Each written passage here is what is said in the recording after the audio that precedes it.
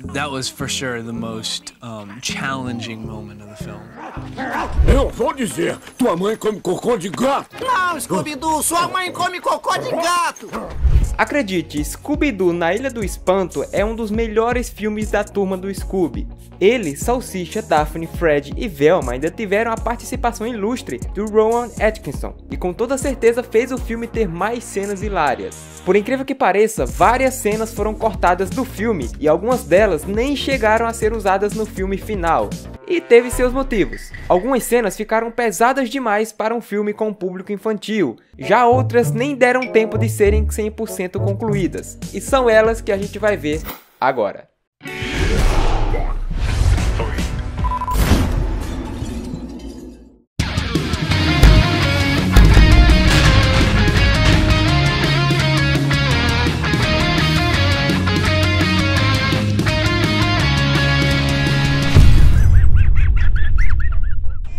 Eu sou o Jonathan Silva e você já fez o John Flix? Fazer a maratona John Flix é fazer a maratona nos vídeos que você gosta aqui no canal. Quando você estiver assistindo qualquer vídeo aqui do canal, tira uma foto, posta no seu story e me marca, arroba TV, que eu vou responder e repostar todo mundo que me marcar. Fechou?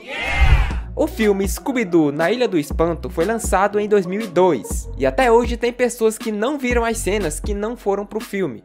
Começando pelo começo, é, literalmente, logo no início do filme, eles vão investigar um caso de um fantasma, e para isso eles vão para uma fábrica de brinquedos. Só que antes, para ambientizar as cenas, é mostrado o lado de fora dessa fábrica. No filme que conhecemos, aparece esse ambiente sombrio, mas a música é animada, o que pode confundir a sua cabeça. Só que na versão deletada, a abertura do filme é totalmente diferente. Logo de cara, a logo da Warner aparece e some em meio à fumaça sombria com a música bem mais tensa. Depois disso, toda a abertura é mostrada em desenho animado, mostrando cada personagem com o nome de cada ator abaixo, ainda com o clima sombrio.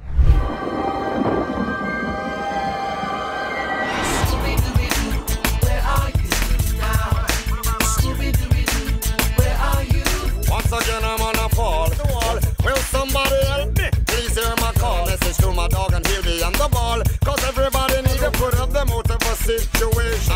Got some work to. So we got some. Can lean on. Then who would believe you if you say you saw a train? I don't worry much, I know my Essa animação de abertura tem quase 2 minutos, e por algum motivo toda essa cena foi deletada do filme. Ela explicaria o início do filme, quando o fantasma aparece dentro da fábrica com a turma, já que nessa animação, esse mesmo fantasma voa rápido lá pra dentro.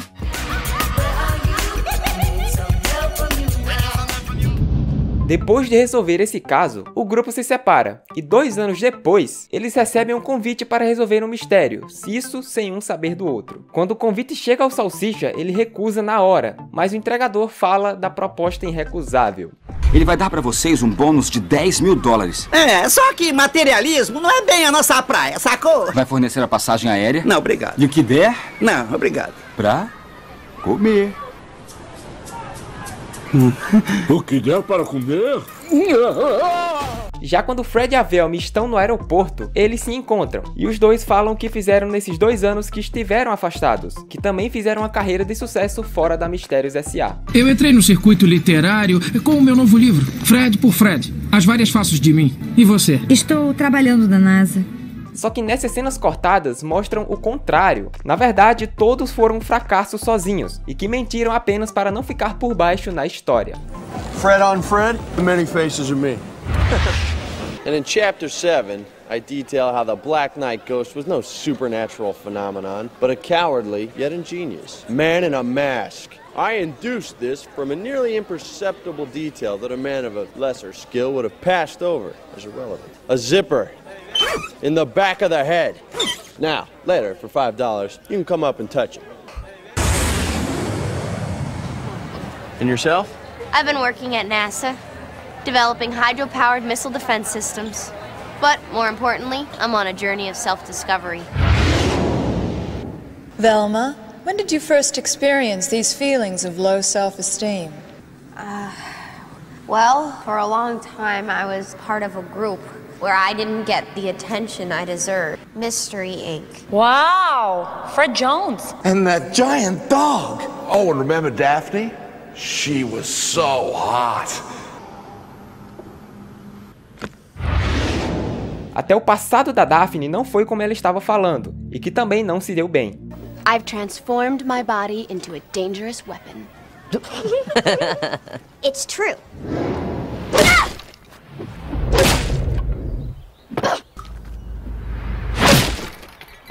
Dangerous weapon.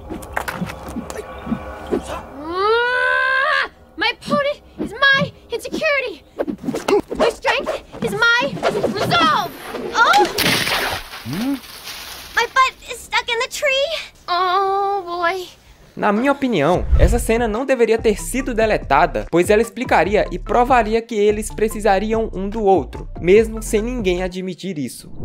Já no meio do filme, a Daphne vai correndo buscar a Velma, que estava dançando no vestiário das meninas.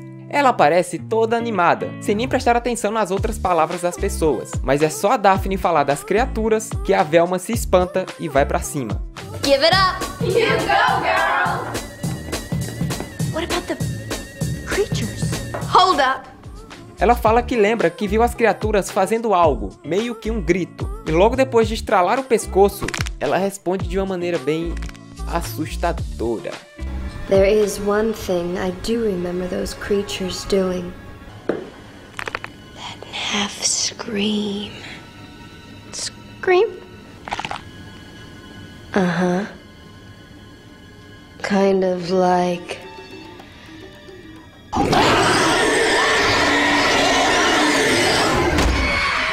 Eu, Jonatas, com 19 anos, não vejo nada demais nessa cena. Mas como eu falei, o filme tem um público mais infantil. Então mostrar a Velma sendo possuída por uma criatura e ainda gritando de forma horripilante, talvez fosse pesado até demais.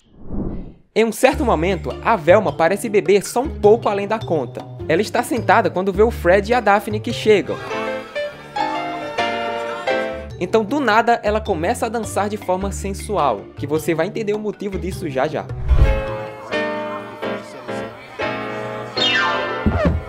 You're just too good to be true. At long last, love has arrived. And I thank God I'm alive to be true. Can't take my eyes off of you. Da-da,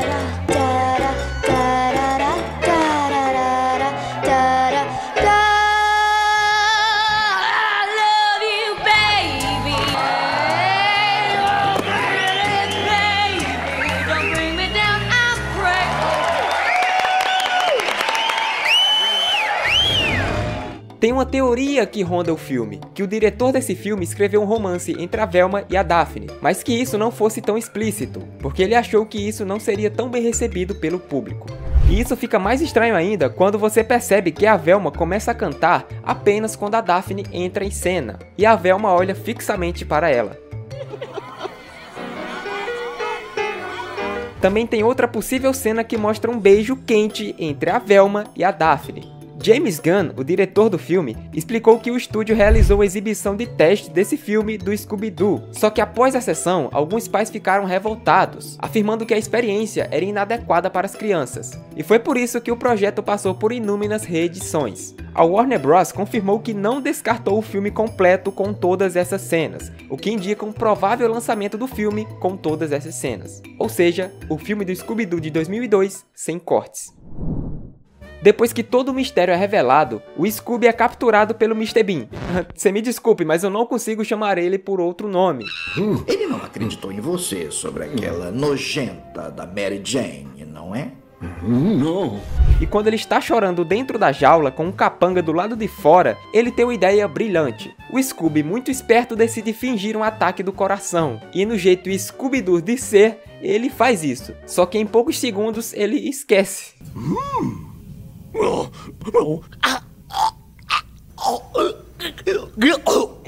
Right, right, right. It didn't work the first eight times you did it either. I really am deadly right. Then why are you talking? Rupert. E de novo, mais uma cena foi deletada sem motivo. Esse é o tipo de cena que não é tão importante assim para a história, e os produtores cortaram ela apenas para deixar o filme mais curto, como uma forma de enxugar a história e mostrar o que realmente importa.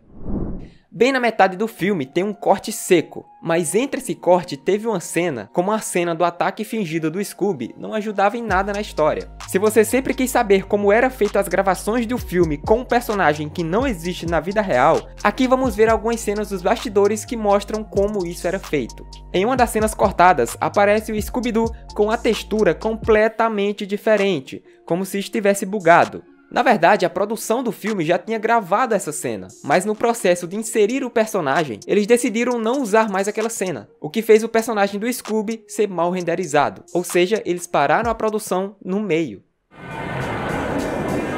Hear the history of Spooky Island in 10 minutes at the ring. Uma curiosidade é que nessa mesma cena, que também foi cortada, aparecem dois adolescentes trocando objetos. Um deles tem ao que parece uma nota de dinheiro enrolada, enquanto o outro tem um pacote bem enrolado e cheira como se tivesse prazer por aquilo.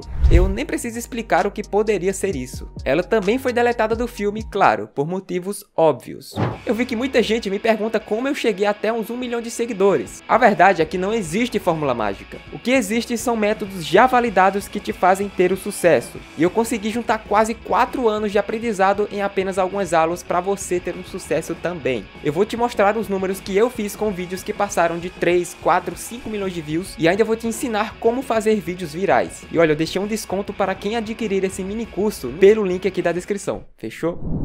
A próxima cena pode ser um pouco chocante, então se você tiver menos de 12 anos, eu recomendo você ir a pular essa parte. Para você que quer ver, a cena acontece logo ali, na beira do caldeirão de protoplasmas. E essa cena deletada mostra Daphne amarrada. O Salsicha chega e presencia tudo o que está para acontecer. O Capanga usa a mão robótica para remover o protoplasma do corpo dela.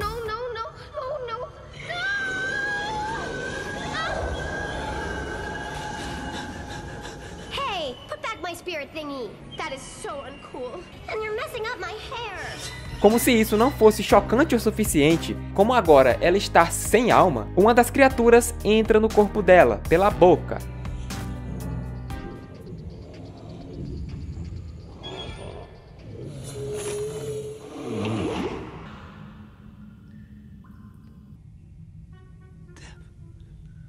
Juntando essa cena que algumas pessoas podem achar chocantes com a reação do Salsicha, que também é bem triste, com certeza várias crianças pequenas iriam até nem querer ter visto essa parte. E a cereja do bolo é uma das cenas finais do filme. Quando os monstros e criaturas estão quase vencendo a equipe, o Salsicha, já triste, pergunta para o Scooby se ele acha que eles vão sobreviver a tudo isso. O Scooby-Doo responde que não, e eles dividem o último biscoito Scooby. You think we're gonna make it, Scoob? no. Me neither. I just want to tell you, no matter what anyone else says, you've never been spectacular to me. I mean, when it comes to being a best pal, you never let me down, Scoob. We'll eat the